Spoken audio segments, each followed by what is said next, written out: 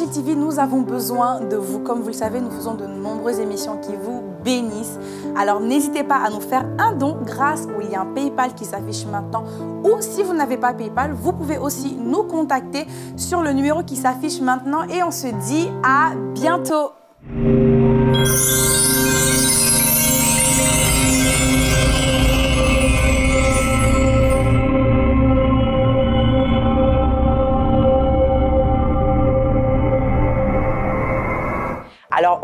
Recevons un invité de marque qui s'appelle Marc. Alors, au travers de son histoire, nous allons voir combien de fois le regard des autres peut, peut être pesant, peut nous affecter lorsqu'on lui donne une trop grande importance. Je vous invite à rester connecté, nous allons suivre son histoire.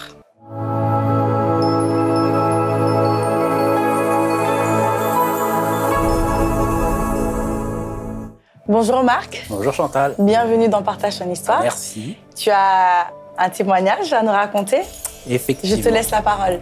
Effectivement, donc je m'appelle Marc, euh, j'ai 35 ans et je suis à la CER depuis maintenant 5 ans, Donc la CER qui est une église, qui est notre église. c'est ça Exactement. D'accord. Alors dis-nous euh, comment euh, ça a commencé le fait que tu puisses donner beaucoup d'importance au regard des autres? Déjà, dans quel contexte familial as-tu grandi? Bah, j'ai j'ai grandi en fait dans une, dans une famille où voilà, on n'était pas dans le besoin, mais euh, j'ai grandi en fait en ayant l'idée que euh, j'étais un petit peu inférieur aux autres parce que euh, malheureusement j'ai un, j'ai un père que, que j'aime beaucoup, mais depuis que je suis petit, en fait, c'était pas vraiment un père qui encourageait, mais plutôt un père qui pointait les défauts que je pouvais avoir. Ah. Du coup, ben, à force, ça trotte dans la tête. Et euh, ben, tu grandis avec l'idée que tu as des défauts. Et donc, Mhm. tu remarques tous tes défauts. Et Mhm. tu as l'impression que toutes les personnes que tu rencontres sont meilleures que toi. Hmm. Et donc, tu prends l'habitude de te sous-estimer et d'être toujours euh, en dessous des autres, en fait. Donc c'est de là, en fait, d'où vient ce, ce complexe, Ah oui, c'est c'est- cette mauvaise estime de soi Voilà, c'est ça. Et euh, bah, en fait, quand tu entends à chaque fois, ben, en gros, euh, bon, ça, t'as pas bien fait ça, et qu'on te compare avec d'autres personnes en plus que tu derrière, te comparer aussi ouais. Ben, Avec tes frères et sœurs ou euh, Non, pas forcément, plutôt avec des, des amis, par exemple, Mhm. qui étaient dans la même classe que toi, mais qui, a, qui avaient des, des meilleures des notes meilleures notes. Mm. Et euh, tu prends tellement l'habitude d'être euh, en dessous des autres que tu te dis, ben, finalement, en fait, je suis en dessous des autres. Et après, quand tu grandis, sans qu'on sans qu'on te dise que tu es en dessous des autres, toi, d'office, tu te te places en dessous. positionnes déjà. tu te places déjà en dessous des autres. Tu te dis, bah, je vaux mieux, je vaux moins bien que, que cette personne. Cette personne, elle fait mieux que moi. Cette personne, elle fait mieux que moi. Et euh, tu perds de la confiance. Et c'est un espèce de, comment dire, de système de pensée qui va faire que tu, euh, que tu es euh, tout le temps en permanence en train de te sous-estimer, de te sous-estimer, de te sous-estimer. Et du coup, tout ce que tu fais, eh ben, tu le fais avec la peur. Et la peur de mal faire. Et du coup, donc, euh, toi, tu grandis, tu vas Mhm. au collège. Ouais. Comment ça se passe déjà au collège avec les autres Ton rapport avec les autres Et Alors, même à l'école? Au collège, euh, ça allait à, à peu près, mais euh, par contre, par rapport aux autres, j'avais justement toujours cette impression d'être moins que les autres. Euh, comment dire, j'étais euh, j'étais une personne qui, qui pouvait parler avec les gens, mais s'ils venaient vers moi. Moi, j'allais pas aller le vers Non, euh, non, non, non, c'est impossible, c'était impossible. Mm. Euh, c'était trop, euh, c'était trop d'efforts à, fournir pour, pour me dire bon, moi, je vais aller vers cette personne pour, pour lui parler. C'était trop difficile Mm. parce que pour moi, en fait, en gros, dans, dans ma tête de collégien, Mm. j'avais pas de légitimité. D'accord. Et quand t'as pas de Il te légitimité, fallait tu un alibi, c'est ça? Pour pouvoir aller. il te fallait. bah, il fallait que la personne vienne vers moi. L'alibi, c'était ça en fait. mhm. Ouais, sinon, Moi, toi, je- impossible. Moi, c'était euh, non, c'était très difficile. Mm. Soit je connaissais déjà la personne d'avant, donc il n'y avait pas de souci. Mais euh, moi, pour aller connaître une personne, il fallait vraiment que euh, la personne elle vienne vers viens moi. te chercher. Ouais. Sinon, c'était, euh, sinon c'était, euh, je parlais pas. J'étais très, enfin, je suis, je suis calme, mais j'étais très taiseux. Et c'était, c'était si, si personne me parlait, je n'allais pas parler à la personne. Mm. J'allais pas ouvrir la bouche pour, euh, pour dire quoi que ce soit, puisque ce que j'allais dire, c'est, ça avait moins de valeur que les autres. Ça veut dire que même dans ce que tu dis, selon toi, t'avais mo- même ce que tu dis avait moins de valeur que Ouais. ce que l'autre. euh, Waouh. Ouais, ouais. c'est comme ça que je me jugeais, que, que, que j'ai grandi. Après, ça a été de, euh, comment dire, euh, avec différentes degrés, avec différents plutôt degrés de, d'intensité. Mais euh, quelle a été la prochaine étape après Ah, après Après, euh, après c'est euh, c'est le, le lycée. Bon, le lycée, tu prends un petit peu plus confiance en toi, euh, notamment parce que bah, tu fais du sport. Et avec le sport, tu arrives un petit peu plus à ressortir le- Tu faisais quel sport? les bons côtés. Bah, le foot. Le foot. Le d'accord. foot. Et tu étais bon dans le foot? Ouais, je me débrouillais bien. D'accord. J'ai pas un niveau de professionnel, mais je Oui. me débrouillais bien quand même. Mhm. Ce qui fait que, euh, bah, grâce à ça, j'ai pu gagner de la légitimité un peu. Du coup, tu avais beaucoup plus de facilité à aller parler. C'était un peu plus facile. Ça devenait un, Un petit peu peu plus plus. facile. Ouais. ouais, ouais. Parce que euh, bah, par rapport au lycée, euh, quand quelqu'un venait me parler, euh, j'avais presque peur. Au départ, j'avais peur de la personne. Parce que bah, elle était supérieure, donc j'avais un petit peu peur. J'appréhendais un petit peu. Mhm. Au lycée, c'était euh, un peu plus compliqué par rapport à certaines moqueries qu'il pouvait y avoir. On Parce se moquait de toi? Bah, au, au collège, au lycée, il y en a qui se moquaient quand même. C'est vrai qu'on a toujours cette période où euh, Ouais. on se moque toujours de certaines personnes, mais du coup, tu recevais quoi comme type de moquerie? C'était Bah, par rapport à ton physique Ouais, à- par rapport à mon euh, physique, euh, par rapport, euh, par rapport à mes lunettes. Ouais. Parce que euh, j'avais une petite tête avec Ah. des, des grosses lunettes. Et je sais pas si tu te souviens de, de, de Steve Urkel, tout ça là. Oui, je me souviens de Steve Urkel. Ah, ça m'a traumatisé, ça. Et cette on t'appelait Steve Urkel? Ah ouais, c'était des. Waouh souvent. Et il y avait même des personnes qui se moquaient de moi. euh, Enfin, je me rappelle d'une fille, elle m'avait marqué. Elle me voyait, elle rigolait. À chaque fois qu'elle te voit, elle me voyait, elle rigolait. Et tu lui répondais un jour non, je, tu mais je- répondu? non, je pouvais pas répondre. J'avais pas la force de répondre. Waouh. Mais à ce moment-là, en fait, Mais moi, ça me blessait. En, fait, ça, ça blesse. Ça te blesse tu et te poses ça quoi te. comme question à ce moment? Tu dis, euh, moi, je, je vois rien. Pourquoi elle se moque ou euh, pourquoi elle se moque? Je, je suis. Je suis, je suis si nul que ça, en fait. En gros, c'est ça, quand tu es petit, tu dis, je suis si nul que ça. Je suis si. J'ai si peu de valeur que ça, en fait. Et tu grandis comme ça. Et ça t'a donné envie d'arrêter l'école un jour? Non, non. Non. Parce que j'avais quand même. ouais. Malgré ça, j'avais quand même une espèce de force de caractère sur d'autres points Oui, qui qui, contrebalançait. qui euh, pouvait. euh, Enfin, moi, je pensais pas à faire arrêter l'école, euh, à pas venir à l'école parce qu'on allait se moquer de moi. T'as quand même mais- réussi à gérer cette partie. Ouais, ça, j'arrivais à gérer. Mais c'est juste que moi, j'avais des problèmes par rapport. euh, tout le temps, cet esprit de comparaison, c'était di- c'était difficile en fait. Mm. De- Après, j'essaye de pas trop le montrer, ça aussi. J'essaye de pas trop le montrer, mais c'était vraiment difficile. C'était vraiment difficile. Et tu avais quand même des amis en qui te confier ou pas? Oui. Et Oui, tu te oui. confiais à eux ou tu gardais tout pour toi à ce niveau-là? Je, je me confiais pas.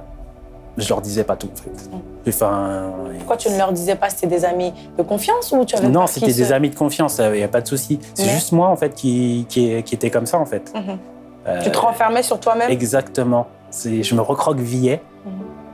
Et euh, jusqu'à ce que euh, un jour, j'ai fait, euh, en gros, euh, une perte de cheveux Ah oui? Parce que euh, il y avait trop de stress en moi entre ce que je vivais moi et euh, ce que euh, ben, il y a- il peut y avoir des moments difficiles dans sa famille et des moments difficiles qu'il y avait dans ma famille.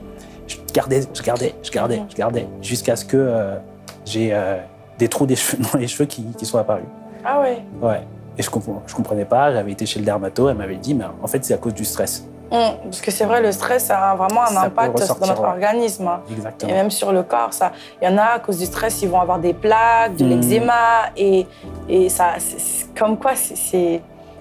Pour, ça, c'est pour ça que Dieu va vraiment nous dire en fait de ne pas craindre, de ne pas être stressé en fait, Mhm. mais d'être tout le temps dans la joie. Exactement. Parce qu'il sait que derrière le stress, derrière ces choses, en fait, il y a des réactions même toxiques et néfastes en fait euh, sur notre Exactement. corps ou dans notre organisme. Ouais. Et euh, du coup, moi, euh, bah, c'est un peu comme si mon, même mon corps lui-même, tu vois, je, je me mettais en mode un Tu petit peu tortue, tu vois, Ouais. ouais. Et euh, même ma démarche était un petit peu comme ça. C'était subtil, mais c'était un petit peu comme ça. Et, euh, et du coup, euh, bah, après, bah, j'ai compris qu'il fallait un peu plus se confier aux gens. Mhm. Parce que bah, ça m'avait marqué aussi cet épisode, c'était à l'époque du lycée. Bah, tu te promènes, tu as des trous dans les cheveux. Au lycée, c'est pas. Il y a beaucoup de moqueries. Voilà. Enfin, là, ça va encore sur ça. Ils ont. C'était pas. C'était vraiment le truc là de Steve Urkel, mais j'y pouvais rien ça.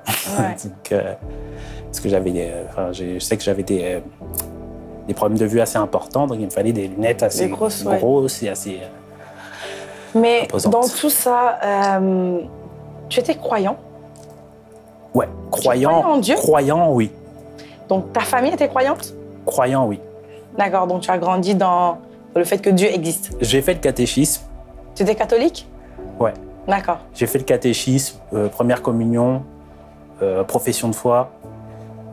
Mais euh, j'y allais pas pour, euh, pour moi, en fait. hein. Par J'y allais, je suivais les potes. je suivais les potes, en fait. Et on a, enfin, c'était une génération, on a grandi un petit peu ensemble dans le catéchisme, les, les trois ou quatre années qu'on a fait ensemble. On grandissait ensemble. Et vraiment, je suivais les, les amis. Mhm. Mais dès que euh, la, la profession de foi, je, je sais plus, si c'est la profession de foi, Mhm. c'est ouais. Dès la que la première communion, après, Ouais, euh, après la, la, voilà, confirmation, voilà, ouais. c'est ça. Après ça, j'ai complètement zappé. hein. Mais du coup, ça veut dire que dans ces moments où tu es quand même au collège, au lycée, il y a des croyants qui vont se tourner peut-être vers Dieu et se demander mais pourquoi moi? Est-ce que toi, ça a été l'une de tes réactions ou t'as t'as Non. pas mêlé Dieu à ça en fait? J'ai pas mêlé ça à Dieu du, Du non, tout? Non, pas du tout. D'accord. Et du coup, quelle était la prochaine étape après le lycée Parce qu'après le lycée- c'est la fac C'est la fac. et euh, les, euh, les écoles de commerce, etc. Et euh, cette époque-là, ben, ça m'a sorti en fait, en gros, de mon cocon parce que j'habitais dans, dans un petit village, je connaissais les gens, etc. Et du coup, je me suis retrouvé avec d'autres personnes que je ne connaissais pas. Et euh, c'est ressorti encore plus fortement. Parce que j'ai eu du mal à me faire des, des amis euh, à la fac. J'en ai même fait qu'un. Et euh, n'ayant pas confiance en moi, il y avait des, des choses qu'on devait faire que j'arrivais pas à faire. Hum, par Parler- exemple. Parler à l'oral. Du coup, c'est cette boule au ventre, mais plus que cette boule au Ah, ventre. ouais, ouais. Quand euh, tu devais préparer quelque chose, tu voyais les autres passer avant et tu étais impressionné par les autres en fait. Oh, En plus, ils font ça super plus, bien. surtout dans ton cas, Voilà. Tu, tu- tu les voyais toujours. Voilà, tu waouh, comment ils sont, comment ils font, c'est trop bien ce qu'ils disent. Je pourrais jamais faire ça. Et moi, juste l'idée de me lever et euh, de passer devant les gens et d'exposer euh, ce que je devais faire, c'était, c'est, c'est impensable en fait, c'est impossible. Et Je pouvais pas. tu Je- l'as fait un jour? Non, j'ai pas pu.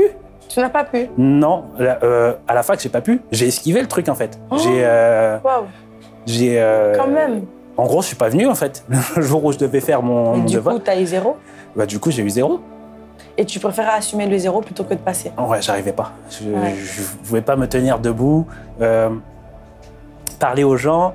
J'a- J'allais avoir la, enfin, trop de salive dans la bouche. J'allais bégayer, ça, ça allait être trop difficile. Et donc, du coup, bah, j'ai esquivé.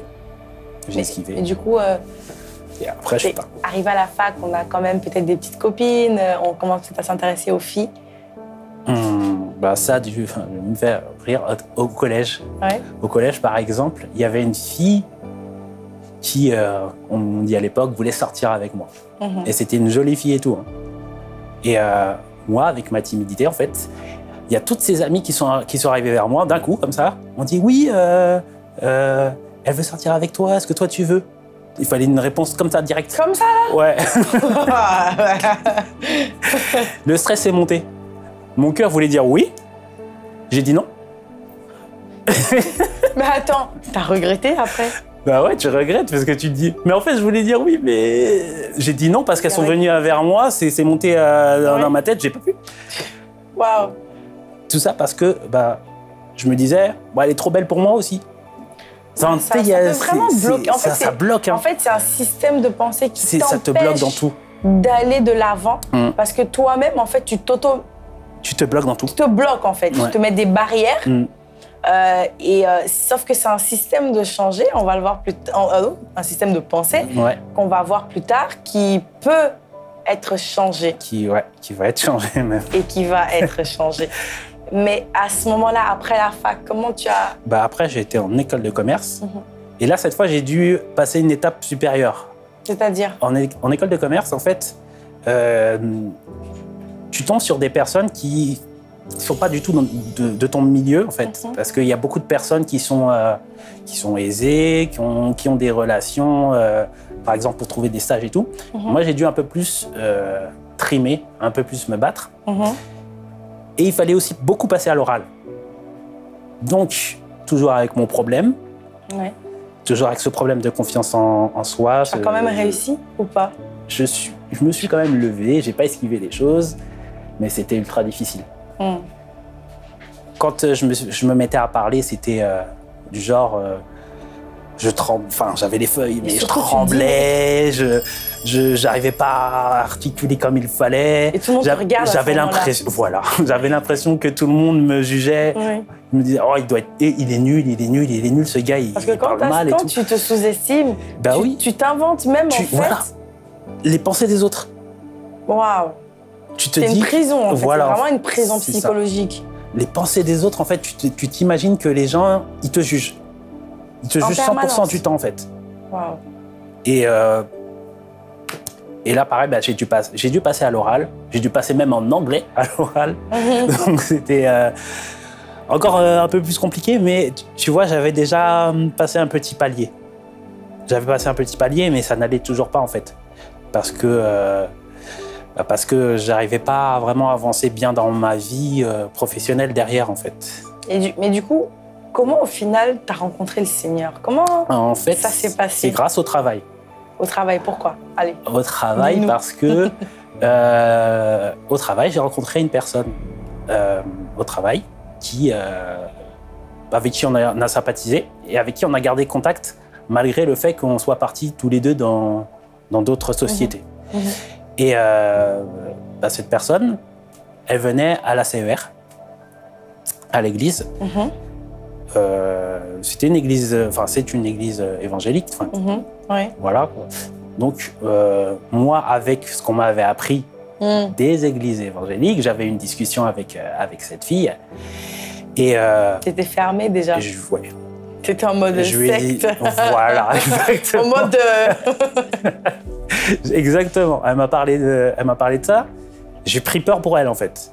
Carrément? Je me suis dit, Oh là là. ça se trouve, elle est en train de se faire arnaquer. Ouais. Euh, c'est des fous. euh, ils vont lui.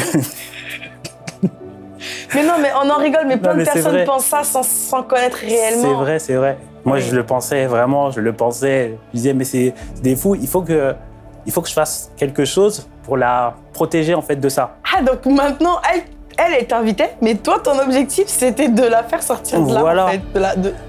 Mais à cette même époque, en fait, je vivais des, euh, des moments euh, où, euh, à cause de ce manque de confiance en, en moi, je, en fait, j'avais le cœur qui noircissait, Hmm. dans, dans le sens où euh, j'étais quelqu'un de gentil quand même, mais je commençais à devenir médisant.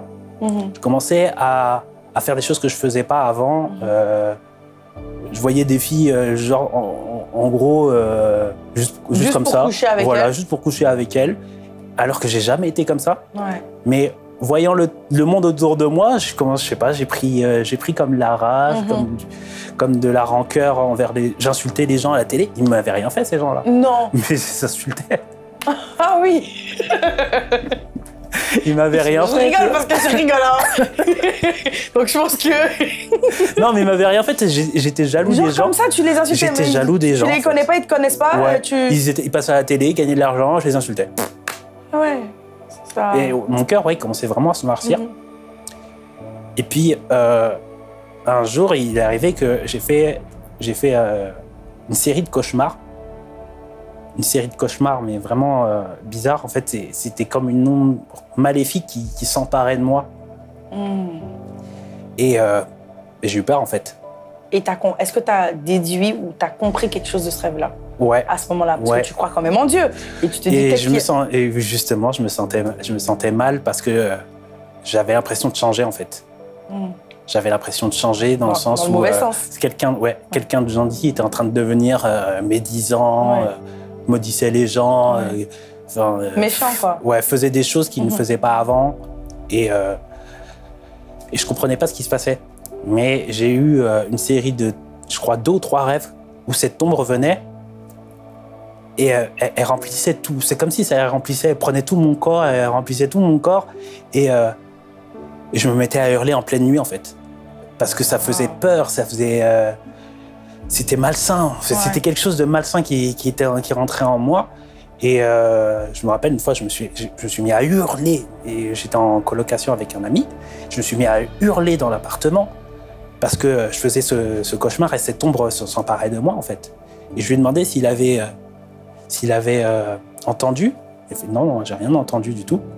Moi, je savais qu'il se passait quelque chose de pas, bon- de pas bon en fait Mhm. dans ma vie. Mhm. Du coup, j'en ai parlé avec cet ami qui allait justement euh, déjà, qui allait déjà à l'église. Mhm.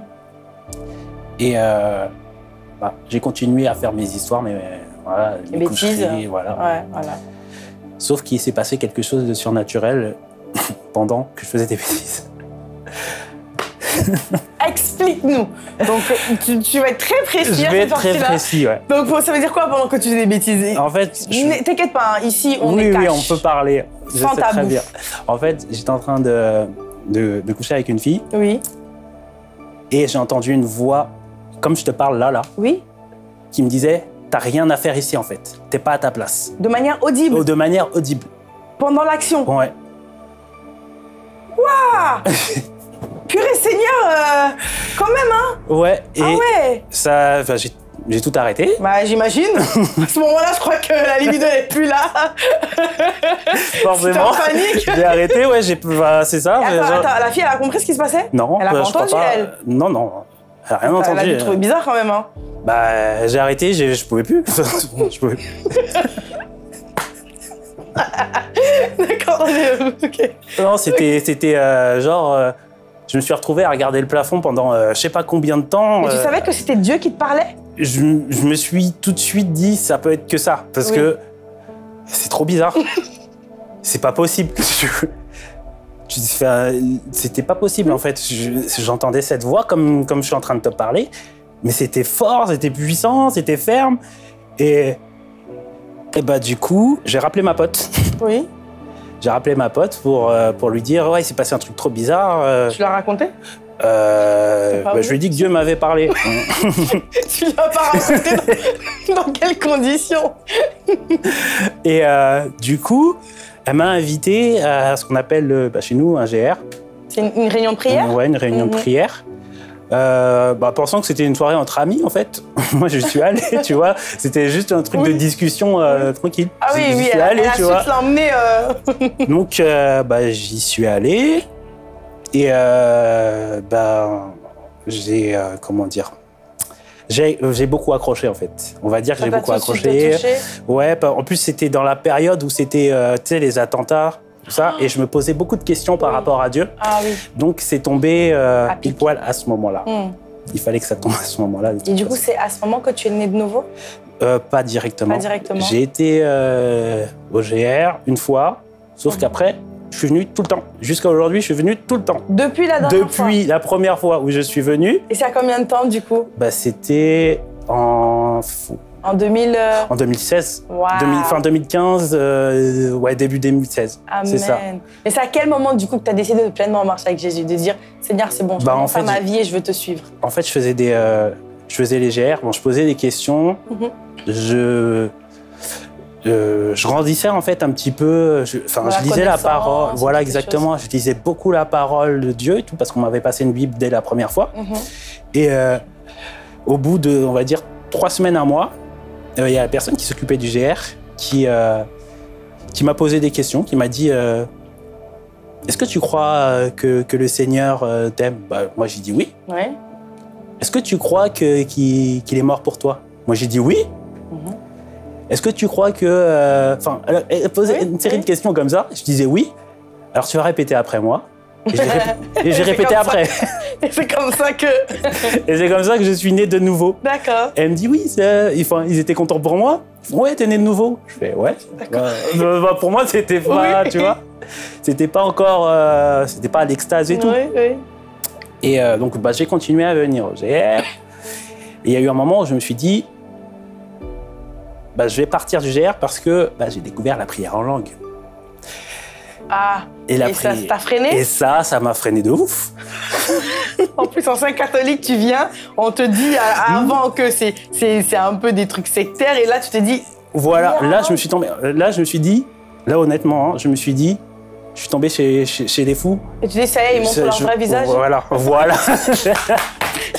Je le sais, je sais que c'est ça qu'on pense. J'ai j'ai directement su euh, lire euh, dans, dans tes pensées. parce ce que qu'elle, parce qu'elle m'a, expli- la personne m'explique, que oui, on va parler dans une langue qui n'est pas Oh là intelligible, là, machin et tout. est Où est-ce que je Je suis fais bon, ok. Moi, je priais mon autre père parce que je connaissais que ça, tu vois. Notre père, oui. Donc, je prie mon autre père et puis je les entends prier en langue. Je m'arrête, je la regarde, j'ouvre les yeux, je fais qu'est-ce qui se passe? Ah, Moi, je reviens plus. Ils sont, ils sont fous. Je reviens plus. Sauf Du que t'es parti? Non. Sauf que le mercredi suivant, le, le jour arrive et je sais pas, j'ai été poussé, je me suis dit bon bah je vais y aller.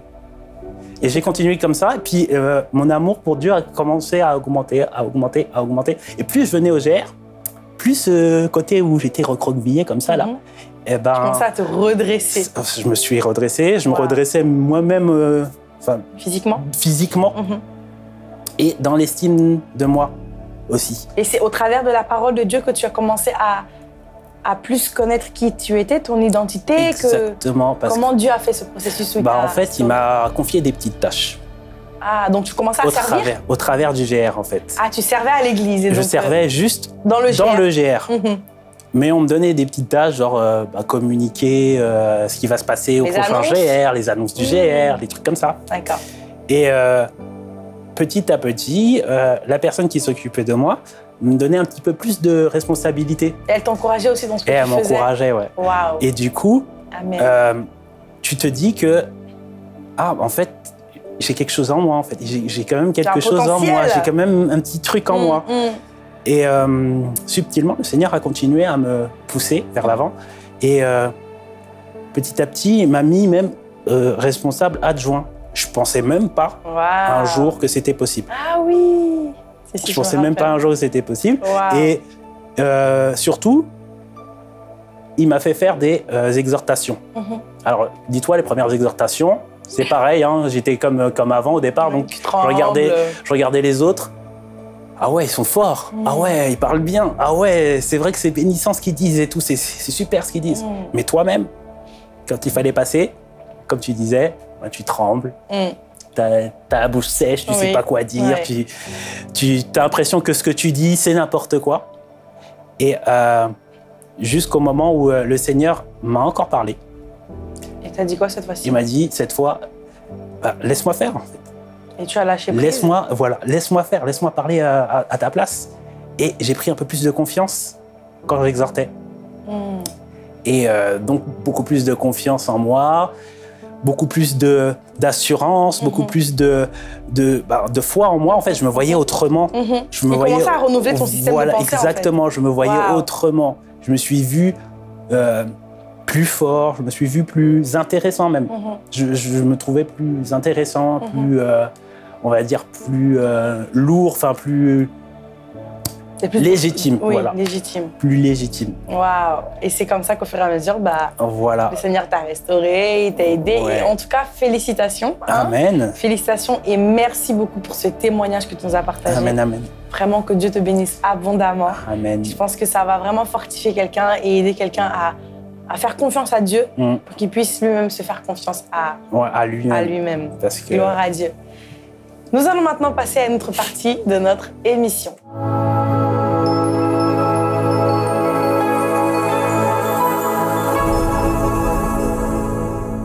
Alors aujourd'hui, peut-être que tu me regardes et comme Marc, euh, au moment où il, traverse- il traversait euh, cette période, peut-être que tu n'as pas confiance en toi, peut-être que tu, tu te sous-estimes, tu te compares aux autres. Laisse-moi te dire que tu as beaucoup de valeur. Tu as plus de Amen. valeur que ça. Et sache que Dieu a payé un grand prix. Pour ta liberté, Dieu a payé un grand prix, une valeur inestimable. Il a donné Jésus pour toi. Amen. Et aujourd'hui, tu peux décider de faire partie de la famille de Dieu. Tu peux décider de naître de nouveau, de devenir enfant de Dieu, même si tu croyais en Dieu aujourd'hui, il y a une différence entre croire en Dieu et être son enfant. Aujourd'hui, tu peux faire cette prière avec moi. Tu peux tout simplement fermer les yeux et répéter ces paroles en croyant de tout ton cœur. Et tu vas dire, Seigneur Jésus, Seigneur Jésus, aujourd'hui, aujourd'hui, je remets ma vie entre tes mains. je remets ma vie entre tes mains. Je crois que tu es le Fils de Dieu Je crois que tu es le Fils de et Dieu que tu es mort pour mes et péchés. que tu es mort pour mes péchés. Je crois que Dieu t'a ressuscité Je crois que Dieu t'a ressuscité d'entre les morts. d'entre les morts. Je crois et je déclare Je crois et je déclare que je suis sauvé. que je suis sauvé. Je te reçois comme mon Seigneur et mon Sauveur. Je te reçois comme mon Seigneur et mon Au Sauveur. nom de Jésus, Au nom de Jésus. Amen. Amen. Alléluia, Amen. gloire à Dieu, félicitations et bravo. Si tu as fait cette prière, laisse-moi te dire que ta vie ne sera plus jamais la même. Aujourd'hui, tous tes péchés ont été effacés. Amen. Dieu a effacé tous tes péchés. Tu peux recommencer à dire avec le Seigneur. Amen, et amen, amen. Fais-lui confiance, c'est ton Père. Parle-lui avec ton cœur. Amen. Merci beaucoup encore pour ce témoignage. Merci Avec à vous de nous avoir suivis. Et si vous avez un témoignage à partager, n'hésitez pas à me contacter sur ma page Instagram, partage ton histoire. Et on se dit à bientôt pour un autre témoignage.